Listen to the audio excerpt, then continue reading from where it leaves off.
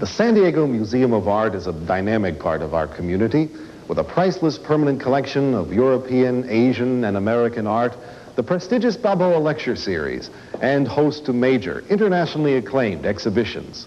The Cat in the Hat, Bartholomew Cubbins, The Grinch Who Stole Christmas, Horton Who Heard a Who.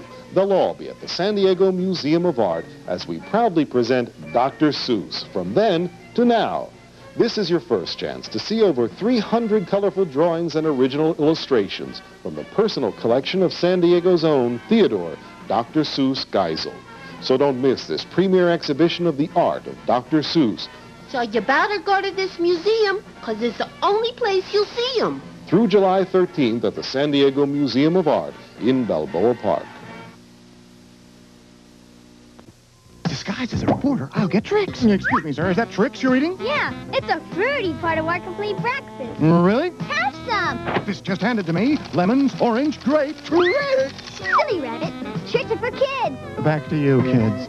Oh, oops. Uh, hello. Oh, what's that? Nothing. Ah, that's a Sunshine Pack of Starburst fruit chews. Give me one. No, they're mine. I paid for them. No, you didn't. They're free inside Trix. Give it to me. No. Free Starburst fruit juice. Oh, look at that. Inside specially marked Trix. Remember Lucky and his swirled up Lucky Charms? He needs help, oh, Mr. Whale. Yum! Look, the marshmallows are back to normal. But not the whale. Frosty Lucky Charms. A delicious part of this nutritious breakfast. Thanks, kids. You did it. You wrote in and helped me fix me marshmallows. So now, inside special boxes of Lucky Charms, there's a bonus pack of swirled marshmallows. Extra marshmallows me. It's a whale of a bonus.